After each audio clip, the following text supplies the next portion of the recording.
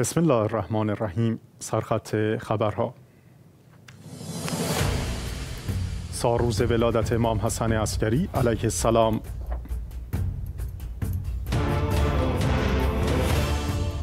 توضیح سبد غذای دوازدهم از سوی مؤسسه مسبال حسین به خانواده های آسیب دیده در لبنان. تلاش مسلمانان آلمان برای تقویت همبستگی و ترویج فهم متقابل.